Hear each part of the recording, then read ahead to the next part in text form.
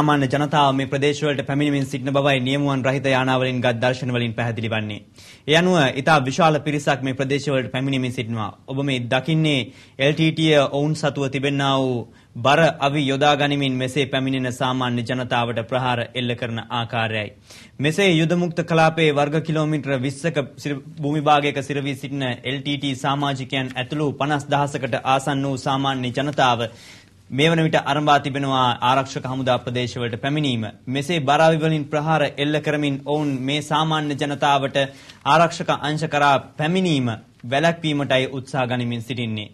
මේද ඔබ දකින්නේ යුද මුක්ත කලාපය ගුවනින් දිස්වන ආකාරයයි නියමුවන් රහිත යානාවලින් ලබාගත් මේ දර්ශන වලින් පැහැදිලි වෙනවා සාමාන්‍ය ජනතාව වැළ නොකැඩී ආරක්ෂක අංශ කරා පැමිණෙමින් සිටින බව. මේ වන විට රජය ශබ්ද විකාශන යන්ත්‍ර මගින් යුද හමුදාව ප්‍රකාශයට පත් කර අවසන් LTTට අවසාන වශයෙන් යටත් වන ලෙස. ඔවුන් අද දහවල් 12 සිට ඉදිරි පැය 24 කාලය තුල නම් කාලය නම් කර තිබෙනවා. ඔවුන්ට අපි බිම තබා යටත් වන ලෙස. සාමාන්‍ය ජනතාව වැල නොකැඩී මේ ආකාරයෙන් LTT පාලන ප්‍රදේශයෙන් මිදී යුද මුක්ත කලාපයේ සිට ඔවුන්ගේ ඔවුන් විසින් ඉදිකරන ලද පස් බැමි ආරක්ෂක වලලු බිඳ හලමින් ඉදිරියට පැමිණෙන බවයි ප්‍රකාශ වන්නේ.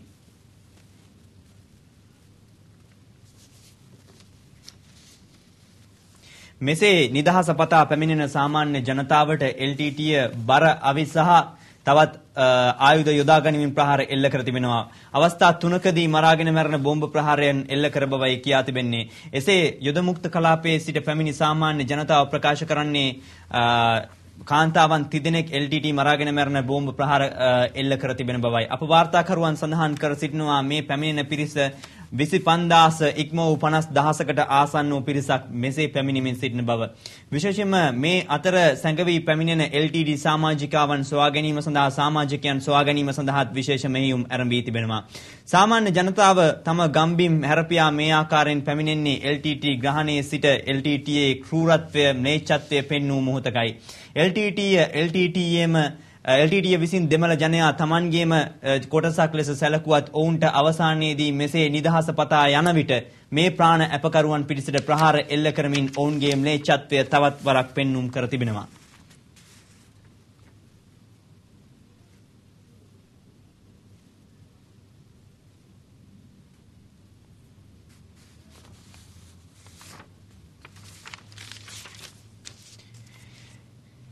යුද මුක්ත කලාපයේ වලයි මඩම් පොක්කනේ යන ප්‍රදේශවලින් තවදුරටත් ජනතාව පැමිණෙමින් සිටින බවයි ආරක්ෂකංශ තොරතුරු වාර්තා කරමින් කියා සිටි. අප වාර්තාකරුවන් සඳහන් කර සිටියා ගුවනින් ගත් දර්ශනවලට අනුව විශේෂයෙන්ම එක් පිරිසක් මෙසේ තවත් පැසකට ඇදී යමින් පවතිද්දී තවත් පිරිසක් යුද මුක්ත කලාපයේ එක් පසක් වන පුතුමාතලන් සිට වෙල්ලමුල්ලි වයිකාල් දක්වා වූ විම් තීරයේ මුහුදු දෙසට ගමන් කරමින් සිටින බව. ඒ එම පිරිසේද විශාල පිරිසක් LTD සමාජිකයින් අන්තර්ගතව සිටින බව ප්‍රකාශ වන්නේ. අශෝක වීරසිංහ කුලරුවන් ගමගේ තොරතුරු ගෙනෙමින් කියා සිටින්නේ මේ ආකාරයෙන් මහා ජනගහනක් නිදහස පතා පැමිණෙමින් සිටින බවයි. කෙසේ නමුත් මේ අවස්ථාවන් බල බල මෙහිදී සාමාන්‍ය ජනතාව මේ ස්ථානවලින් පිටත්ව යාම වැළැක්වීම සඳහා LTT ප්‍රහාර එල්ල කරමින් සිටින බව පවාර්තාකරුවන් කියා සිටියා. ඔවුන්ට නන්දි කඩල් තලපු කලපුව තරණය කරමින් පැමිණෙන මේ ජනතාවට ඔවුන් ඈත සිට ලබාගත් දර්ශන වලින් පෙනෙන්නට තිබුණේ අවස්ථා තුනකදී දුම් දුම් රොටු අහසට නැගුණු බව ඔවුන් කියා සිටියා. ඉන් පැහැදිලි වන්නේ මා පෙර කිව් ආකාරයෙන්ම මරාගෙන මැරෙන බෝම්බකාරණියන් විසින් එල්ල කරන ලද ප්‍රහාර වලින් විශාල පිරිසක් ජීවිතක්ෂයට පත්වන්නට ඇති බවයි. කෙසේ නමුත් තවත් ප්‍රහාරයකින් නව දෙනෙකු ජීවිතක්ෂයට පත් වූ බව එහි සිට පැමිණි සාමාන්‍ය ජනතාව ප්‍රකාශ කරන බව අප වාර්තාකරුවන් ප්‍රකාශ කර සිටියා. ඔබ මේ දකින්නේ නියමුවන් රහිත ගුවන් යානා මගින් ලබාගත් දර්ශන මෙසේ සාමාන්‍ය ජනතාව බැල නොකැඩී විශාල පිරිසක් පැමිණෙමින් සිටිනවා ආරක්ෂක අංශ පාලන ප්‍රදේශයන් වෙතට සාමාන්‍ය ජනතාව මෙසේ පැමිණෙන විට මෙහි මෙහියුම් කටයුතු ඒත් එක්කම සේනාධිනායකයා විදිහට ජනාධිපතිතුමන් ඇතුළු ආරක්ෂක ලේකම්තුමා ඒත් එක්කම යුද හමුදාපතිතුමා මේ කටයුතු මෙහෙයමින් සිටිනවා කොළඹ සිට මේ අතරේ අපි යුද හමුදාපති ලුතනන් ජෙනරාල් සරත් පොන්සේකා මහතාගෙන් මේ පිළිබඳ විමසීමක් කළා. ඔහු කියා සිටියා LTT නායකයා ඇතුළු ඉතිරිව සිටින LTT සමාජිකයන් යටත් නොවුනහොත් ඔවුන්ට අනිවාර්යෙන්ම ඉදිරි හමුදා මෙහෙයුම්වලදී නිරත වශයෙන්ම නියත වශයෙන්ම පරාජය අත්වනු ඇති බව. අදනට විශේෂ ප්‍රකාශයක් කරමු යුද හමුදාපතිවරයා LTD සංවිධානය කෙරෙහි පවතින සිවිල් ජනතා විරෝධය දැන් දැන් උත්සන්න වෙමින් පවතින බව ප්‍රකාශ කර සිටියේ. එයාගේ ඉරණම ඉතින් දැන් ලියවිලා ඉවරයිනේ. එයා මිනිමරුවෙක් ත්‍රස්තවාදියෙක්. ත්‍රස්තවාදියෙකුටයි මිනිමරුවෙකුටයි හම්බෙන්න හම්බ යුත්තේ කියන්නේ දඩුවමක්ද කියලා ලෝකේ හැම කෙනාම දන්නවා. එයාට ඒ தත්ත්වයට මුහුණ දෙන්න වෙයි. අනිවාර්යයෙන්ම එයා දිගින් දිගටම මේ தත්ත්වයේදී අපිව මුහුණ දෙන්න ඕන නම් එයාට යුගමේ වශයෙන් එයාට ඉතින් තව බොහොම කෙටි දුරයි අපිට යන්න තියෙන්නේ. එයා විනාශ කරන්න එයාගේ විනාශයක් දැන් අත ළඟ. ඒ தත්ත්වයට එයාට මුහුණ දෙන්න වෙයි ඉදිරියේදී. දෙමළ ජනතාවගේ එකම නියෝජිතය ලෙස සැලකෙන වේලුපිල්ලේ ප්‍රභාකරන් අත්හැරලා මේ තරම් විශාල ජනතාවක් හමුදා ප්‍රදේශවලට පැමිණීම ඔබ කොහොමද දකින්නේ හමුදාපතිතුමනි?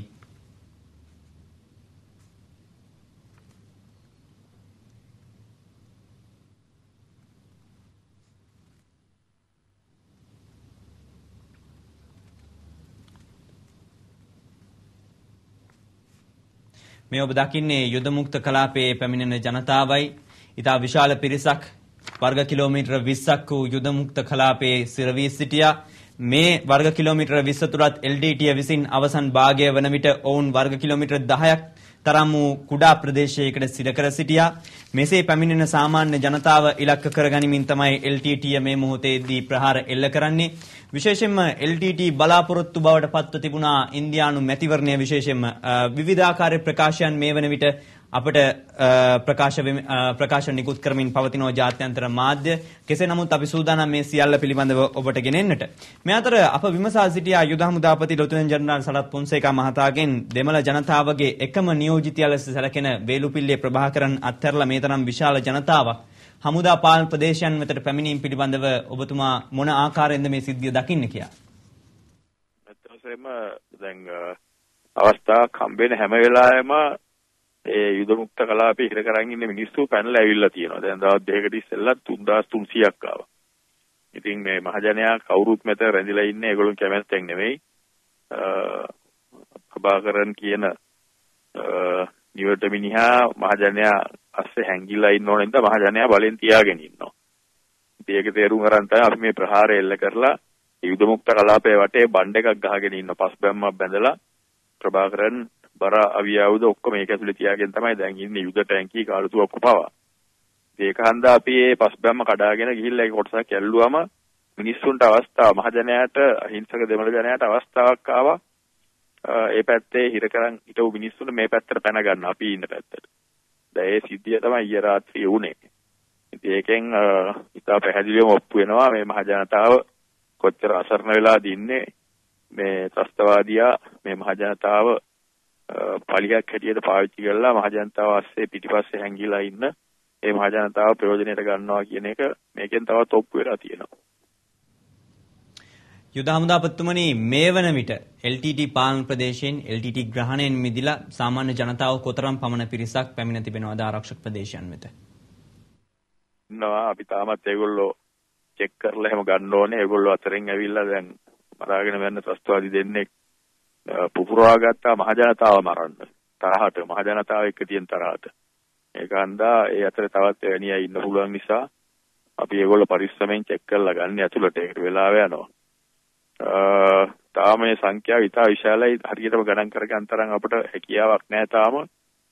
නමුත් අපිට දැන්ට ලැබිලා තියෙන තොරතුරු අනුව 25000කට ආසන්න සංඛ්‍යාවක් මහ ජනතාව එතන පැමිණිලා තියෙනවා. අපි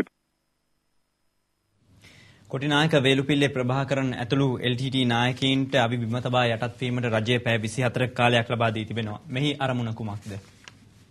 මෙතන මේ පැය 24ක් කාලයක් දීලා සටන් නිරාමයක් දීලා ඒ වගේ තත්ත්වයක් නැහැ. අපි හැම වෙලේම මේගොල්ලොන්ට කියලා තියෙනවා දැන් මාස ගානක ඉඳලා යටත් වෙන්න කියන එක. ඒකට කාල සීමාවක් නැහැ. ඒගොල්ලොන්ට හැකි ඕන වෙලාවක ඒගොල්ලෝ යටත් වෙන්න පුළුවන්. යටත් වෙච්ච අයත් ඉන්නවනේ පහුගිය කාලේ. ඒ කට්ටියට අපි සාධාරණ විදිය සලකලා තියෙනවා. යටත් වුණොත් ඉතින් ඒගොල්ලන්ට ඉදිරියට අපි මේ යන විදියට දැන් පේනවානේ අපි ලබන ප්‍රතිඵල අපි කොහොමද මේක ජයග්‍රහණය කරා යන්නේ කියලා ඒකට මුහුණ දීලා නිකන් ජීවිත විනාශ කරගන්න වෙයි. එච්චරයි